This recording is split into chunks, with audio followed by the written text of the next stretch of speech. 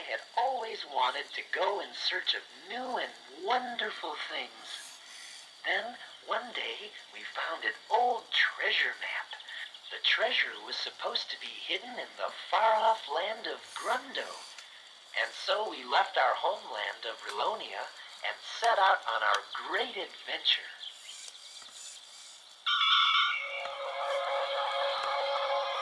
Let's go to far-off places and search for treasures bright.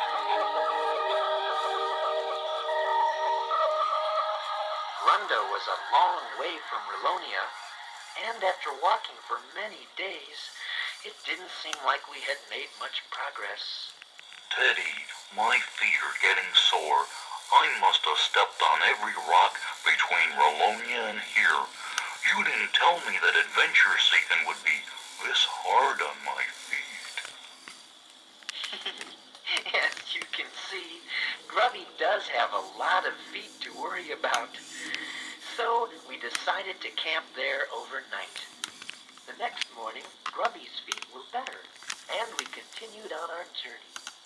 That was the day we met Newton Gimmick. Oh, hello there. Uh, My name is Newton Gimmick, uh, but everyone just calls me Gimmick. I'm an inventor. Oh, yes, indeed. We discovered that Gimmick is a marvelous inventor.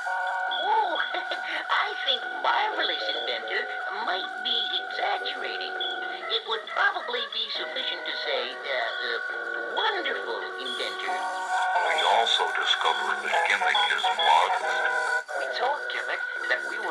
journey to find a treasure. He said that one of his latest inventions might be very useful to us. Grubby and I were very interested. So we went to Gimmick's house to see just what this new invention was. Uh, yes, here it is. I call it an airship. Hmm, it looks like a boat. Oh, well, as a matter of fact, it, uh, it did start out to be a boat, but then I realized I'm not very close to water. No, you're not very close to water. Yeah, it would be kind of good for a boat to be close to water. Precisely. Uh, that was my exact conclusion. Uh, but then the idea hit me. if a boat could float on water, it could also float on air.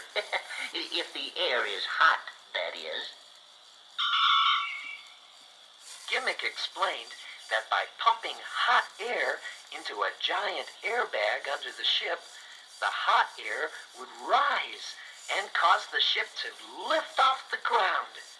It sounded logical, but somehow something didn't seem quite right. Teddy, uh, something doesn't seem quite right. As the airbag filled with hot air, the ship began to lift off the ground. Hey, Teddy, it's working.